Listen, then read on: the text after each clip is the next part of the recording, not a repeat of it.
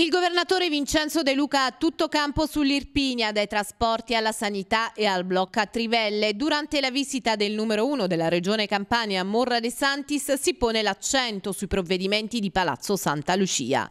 Invitato dal comitato per il bicentenario della nascita di Francesco De Santis, De Luca, accompagnato dalla presidente del Consiglio regionale Rosetta D'Amelio, non si sottrae le domande dei cronisti e afferma «Cari ragazzi, non ci distraiamo perché i risultati risultati già ci sono. Allora, guardiamo anche con molta onestà intellettuale le cose che sono in movimento, che sono tante.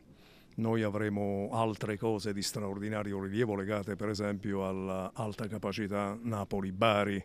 Abbiamo acquisito una stazione a Grotta Minarda perché siamo intenzionati a potenziare quest'area. Abbiamo preso le decisioni nell'ultimo Consiglio che sono importanti per l'Alta Erpinia, quando abbiamo deciso di impedire le trivellazioni a protezione del bacino idrografico più importante d'Europa. Mi pare una decisione di grandissimo rilievo per tutta l'Irpinia.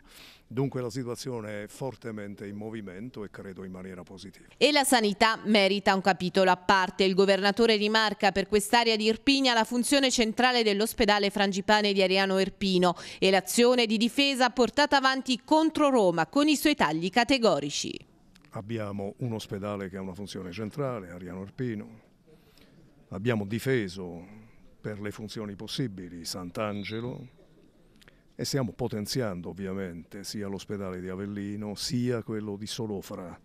Ora tenete conto sempre che noi siamo commissariati, siamo in piano di rientro e la spinta che viene da Roma è a tagliare tutto.